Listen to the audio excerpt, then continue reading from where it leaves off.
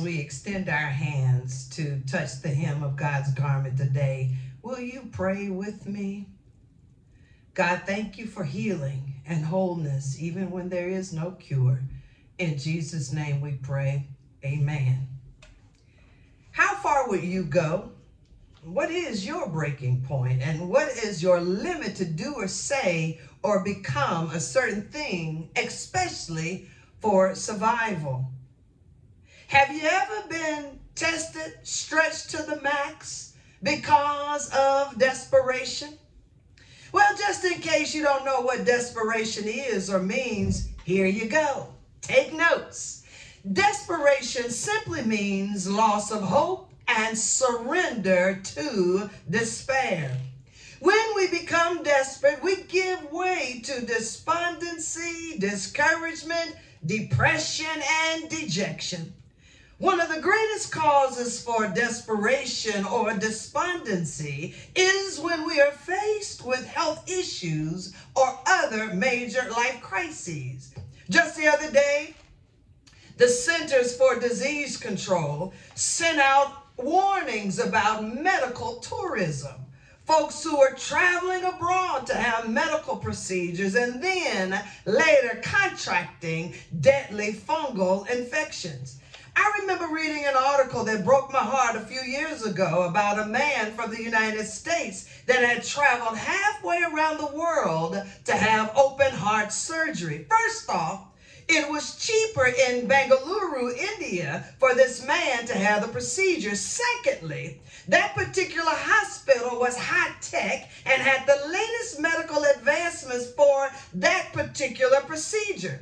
Well, my first trip to India 20 years ago, I saw firsthand the technological advances in everything, yet the simplicity of coexisting with all of creation was my growing edges. Namaste Arvanakam lived out loudly, bowing down to the divine in you that was also in me desperation in the land of the free when a family of five lives in a hotel in Lincoln, Nebraska, filled with trash and all of their belongings. And a five month old becomes now part of the greater cloud of witnesses, and the other two children are placed in foster care. The parents, desperate, were doing the best they could with what little they had. Desperation. Yet we have politicians playing games.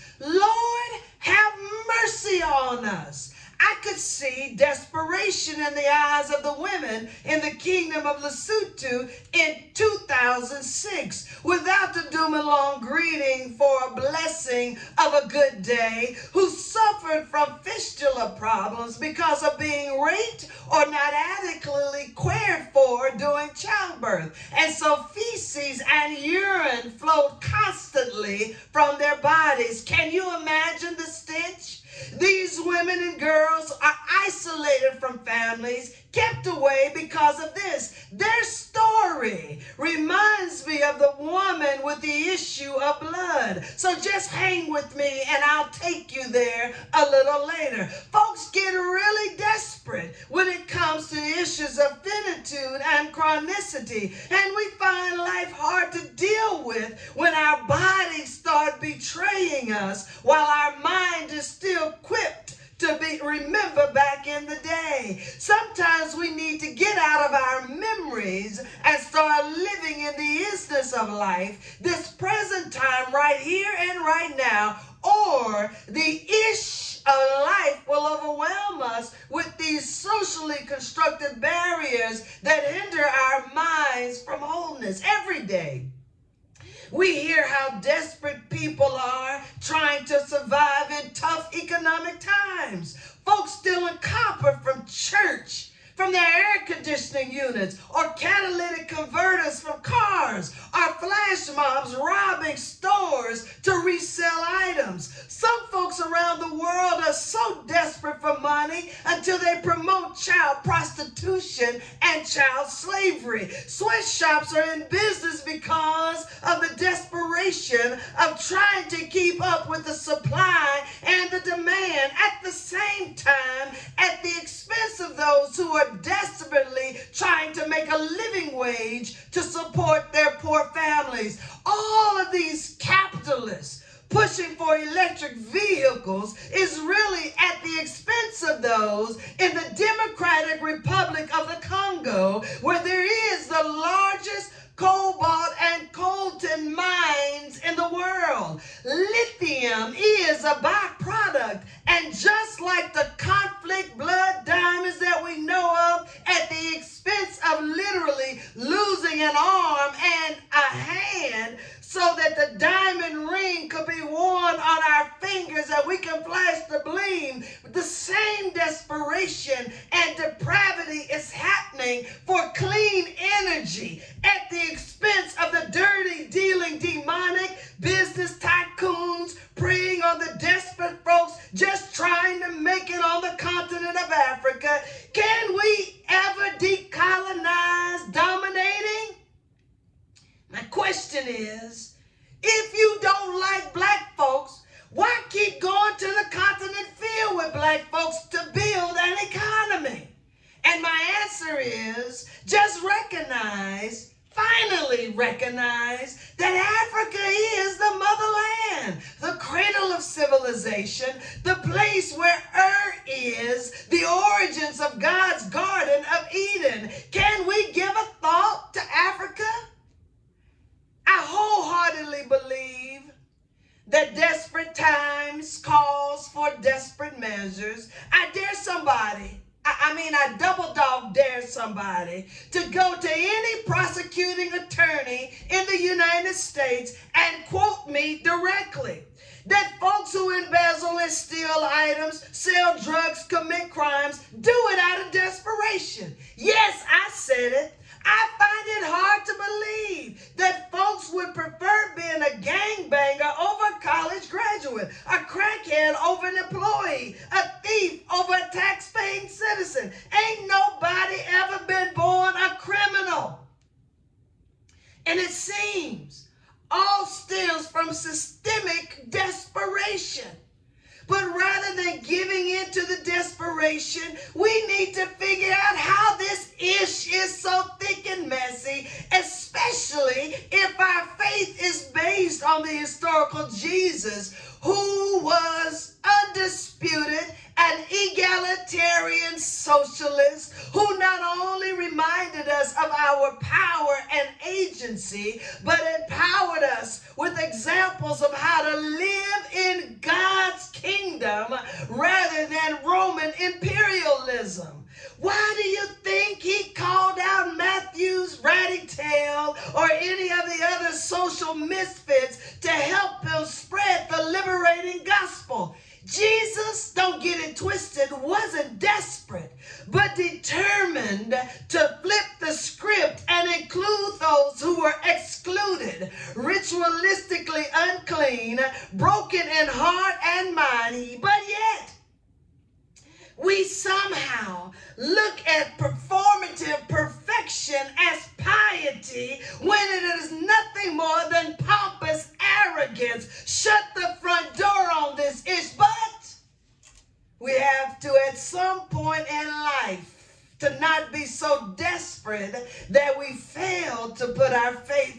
action and stop sitting on our big fat apathy waiting, thinking that stuff will just fall from the sky. Abram would have never known God to be a promise keeper if he had stayed in Ur the place of comfort and familiarity. Have I got one witness today? Well, in desperation. When we are growing older, we try to find the fountain of youth. And when we realize it doesn't exist, and that Clairol hair color is temporary, and the oil of Olay won't really help you look younger, we resign ourselves from being who God has called us to be. What gets me is to hear folks retire from serving the Lord. Like God could only use folks who are 30 years old. That is so not true. We should always remember Abram, who was about 100 years old when God called him in faith. Listen. A hundred years old then is a hundred years old now. Arthritic tendencies, fragile bones that were once agile, slower thought processes, and forgetfulness was still afflicting Abram. Yet God said to Abram to go, and in faith, Abram stepped out in trust of the Creator God of the universe. Yet, in our desperation as we age, we resign and become upset with our lives and with God. I don't know about you, but I have learned and I have earned every single wrinkle, crinkle, and crunchiness, and even gray hair. And guess what? The bifocals help me to see clearly the evidence of things not seen. Folks get really desperate when it comes to the issues of finitude and chronicity. We find life hard to deal with when our bodies start betraying us. Sometimes, beloved, we have to get out of our memories and just start living right here and right now because yesterday is gone and tomorrow may never be ours. Desperation is the four children who survived and were protected by the jungle in the Amazon. A miracle right before our eyes. Don't let what's happening with Trump overshadow the miracle that is happening before our eyes. And that the story a video of their desperate grandmother gives them hope.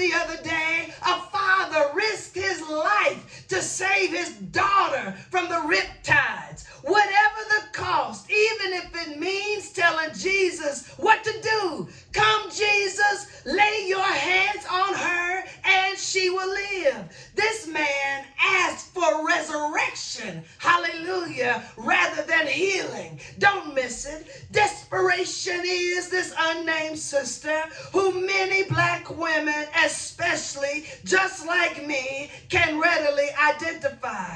I imagine this sister suffered from fibroid tumors. Many female gynecologists now believe that fibroids are bound up creativity. It is our stress compacted in our life carriage that causes prolonged pain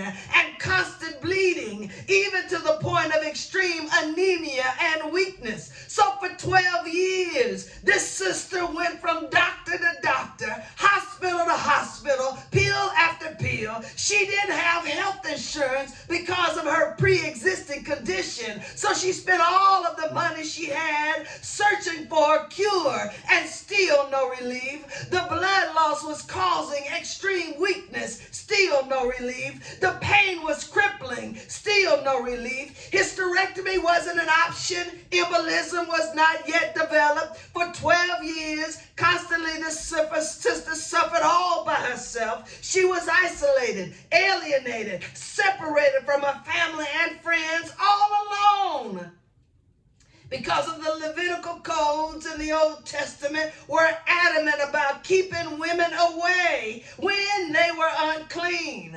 For 12 years, this sister lived with her pain, her constant flow of blood, and in desperation, she remembered this man named Jesus. She had heard rumors about he had healed a centurion servant and Peter's mother in law and the paralytic. And I imagine she realized that Jesus was sure in his secure in his godliness, that he wouldn't be afraid to give a woman a chance to pastor. I mean, give a woman a chance to be president. I mean, give a woman a chance to be made whole. In desperation, this sister pulled herself out of isolationism to go and find Jesus. But she knew of the Levitical laws concerning ceremonial uncleanness that Jesus probably wouldn't give her the time of day. She knew that Jesus couldn't touch her and she couldn't touch him because she would make Jesus dirty and unclean. Can't you hear this desperate woman, self talking. I got to get to Jesus somehow. I'll make it somehow. If anybody can help me, surely Jesus can. So, as Jesus passed by, can't you hear say, Pass me not, oh gentle Savior? So, as Jesus passed by on his way to resurrect a dead little girl, this woman just touched the hem of his free flowing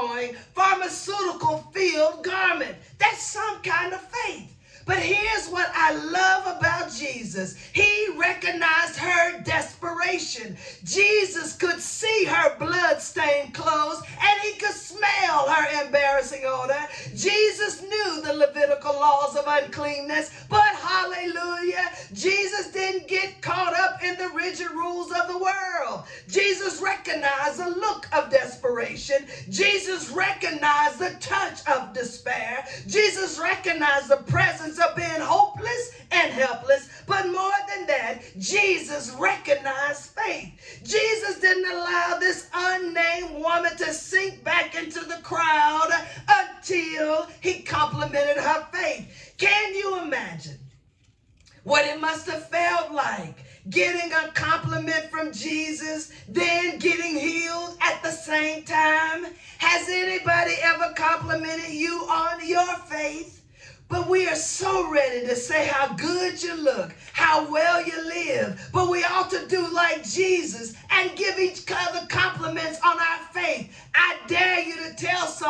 today, you are wearing your faith well. Beloved, what I like about this story and why I think Matthew placed it in his gospel is because it's loaded.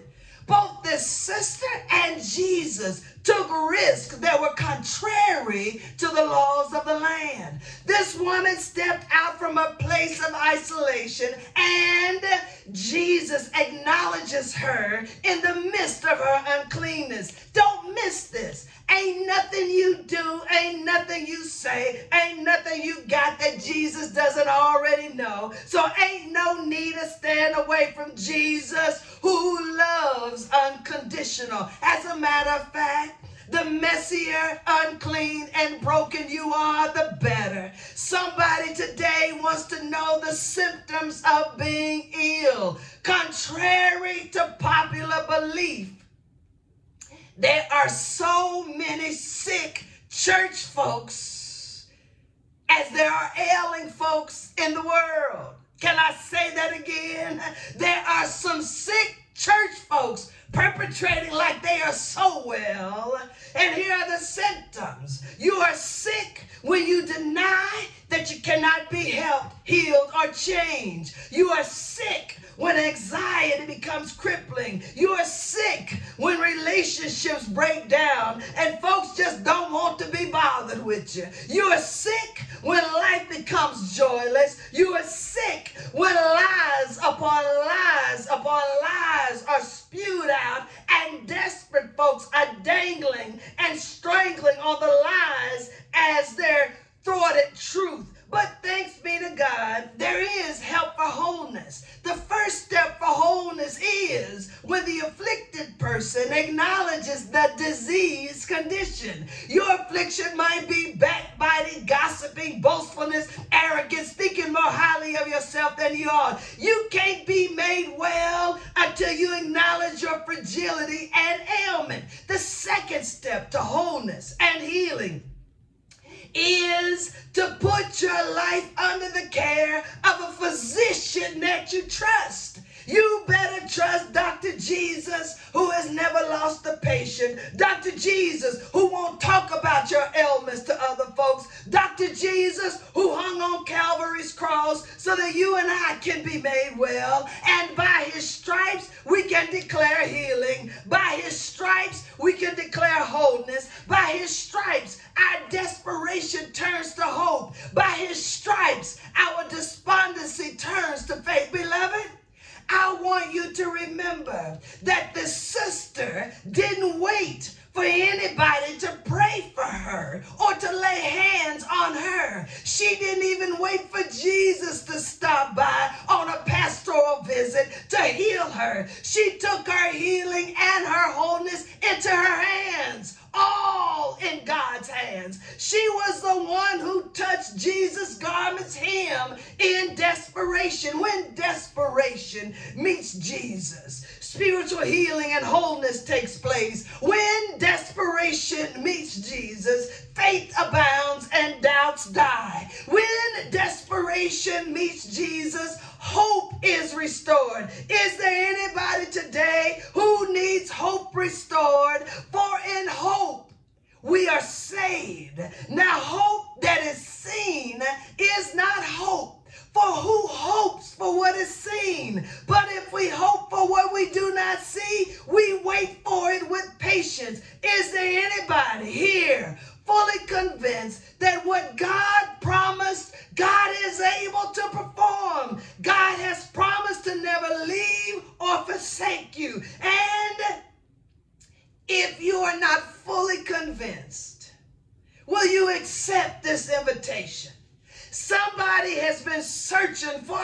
long. Somebody has tried to find peace of mind. Somebody's life hasn't been easy. Do this. Look to Jesus, the author and finisher of faith, who endured hostility and shame and never gave in to the ish the difficulties nor the desperation. And guess what? You can make it too. No matter what you're going through, God is there to show you up. Just believe on God's promises that are yes and amen. Unmute yourself today.